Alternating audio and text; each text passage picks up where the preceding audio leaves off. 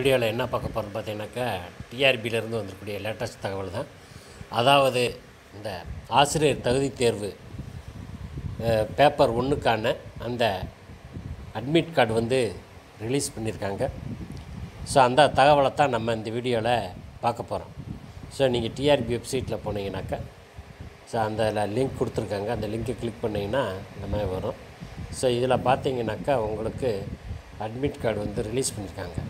அதாவது பார்த்தீங்கன்னாக்கா உங்களுக்கு தேர்வுகள் எப்போ இருந்து நடக்குது அப்படிங்கிற பார்த்தீங்கன்னாக்கா உங்களுக்கு பதினாலாம் தேதி பதினாலு பத்து ரெண்டாயிரத்தி இருபத்தி ரெண்டுலேருந்து பத்தொம்போது பத்து ரெண்டாயிரத்தி இருபத்தி ரெண்டு வரைக்குமே வந்து எக்ஸாம்ஸ் வந்து கண்டக்ட் பண்ணுறாங்க.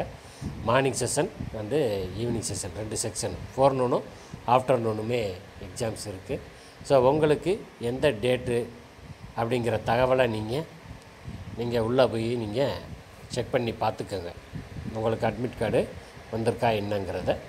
ஸோ வெப்சைட் அட்ரஸ் பார்த்தீங்கன்னாக்கா W W dot TRB dot TN dot NIC dot IN so இதில் பார்த்தீங்கன்னாக்கா உங்களுக்கு இப்போ தேர்வு வந்து பதினாலாம் தேதி அப்படின்றத வச்சுக்கோங்க. பதினாலு பத்து ரெண்டாயிரத்தி இருபத்தி ரெண்டுனாக்கா உங்களுக்கு அந்த டிஸ்ட்ரிக்ட் அட்மிட் கார்டுங்கிறது வந்து ஏழாம் தேதியே வந்து வெளியிட்டாங்க இப்போ எல்லாத்துக்குமே வந்து டிஸ்ட்ரிக்ட் அட் உங்களுக்கு தேர்வு வந்து எந்த டிஸ்ட்ரிக்கு அப்படிங்கிற தகவலை வந்து அதில் சொல்லியிருப்பாங்க.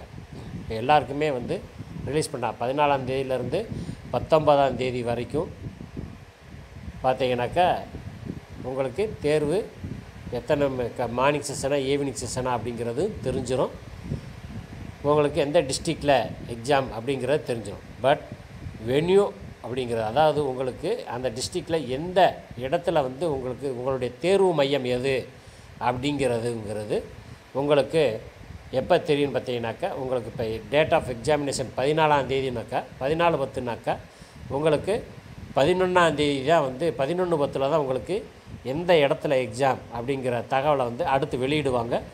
அப்போ நீங்கள் பார்த்துக்கோங்க. டிஆர்பி வெப்சைட்டில் போடுவாங்க. நீங்கள் அப்போ டிஆர்பி வெப்சைட்டில் போய் நீங்கள் பார்த்துக்கோங்க. பதினஞ்சாம் தேதி உங்களுக்கு எக்ஸாம்ஸாக இருந்ததுனாக்கா உங்களுக்கு வந்து பன்னெண்டாம் தேதி தான் ரிலீஸ் பண்ணுவாங்க. பதினாறாந்தேதி எக்ஸாம்னாக்கா உங்களுக்கு பதிமூணாந்தேதி தான் எக் ரிலீஸ் பண்ணுவாங்க. பதினேழாந்தேதி எக்ஸாம்னாக்கா பதினாலு பத்தில் தான் உங்களுக்கு ரிலீஸ் பண்ணுவாங்க. பதினெட்டாந்தேதி எக்ஸாம்னாக்கா பதினஞ்சு பத்தில் தான் ரிலீஸ் பண்ணுவாங்க. பத்தொம்பதாந்தேதி எக்ஸாம்னாக்கா பதினாறாந்தேதி தான் உங்களுக்கு ரிலீஸ் பண்ணுவாங்க.